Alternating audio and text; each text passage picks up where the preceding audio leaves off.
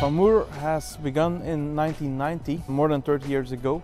Uh, and today we have 450,000 square meters of warehouse. We have chemicals, we have repair activities, we have our intermodal solutions for our uh, partners, uh, and we try to develop uh, with all our partners a sustainable relationship in different activities.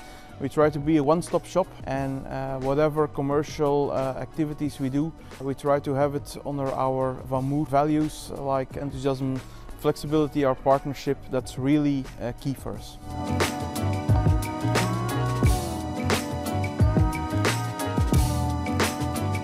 Back in 2017, we got some more international customers. We entered the market of chemicals, petrochemicals here in the port of Antwerp.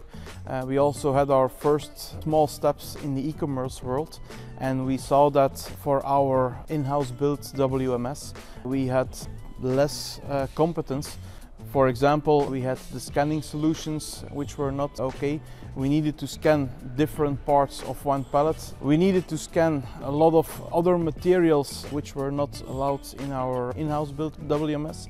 And we had also uh, no planning, we had uh, difficult and, and labor extensive input which through the volumes of chemicals, through the volumes of e-commerce was not possible.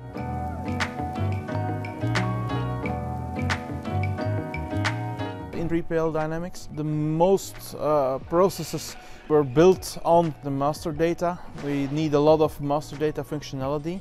As from that, we go to the orders and the order statuses. We have a lot of different order statuses we flexibly can yeah, introduce into 3PL Dynamics. From the orders, we go to the stock overviews, the different stock overviews for planning, but also for connection to our customers and for the legal governance, uh, of course.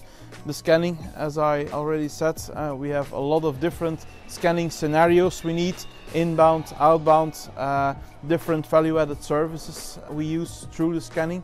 And then uh, last but not least also the reporting and the reporting functionality not only on physical goods level like a pallet but also on a detailed good level. Most benefits we got through our people. Once they started using the 3PL Dynamics uh, application, they came from our old in-house WMS where they had a massive uh, amount of manual input. They had no overview.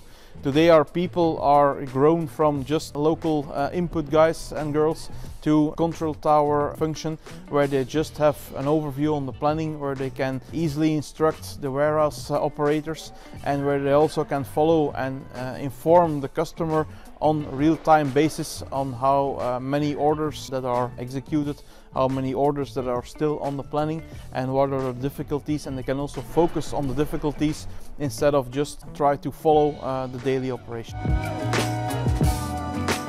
In future uh, we are implementing our fourth warehouse we have already the fifth warehouse which needs to be ready by summer and we have a lot of uh, commercial opportunities for 2022, 2023 and 24 within e-commerce, within chemicals, even within pharma and uh, we're very hard looking forward to implement all these warehouse operations with 3PL Dynamics and Elevate IT.